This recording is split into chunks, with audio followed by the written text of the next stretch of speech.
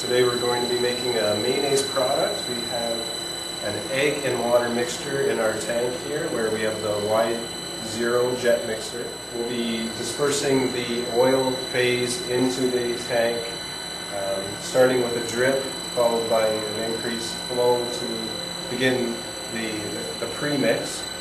Once the premix is complete and all the oil's in the phase, we'll be pumping through the HV1. Start our dispersion of the oil. Slow trickle.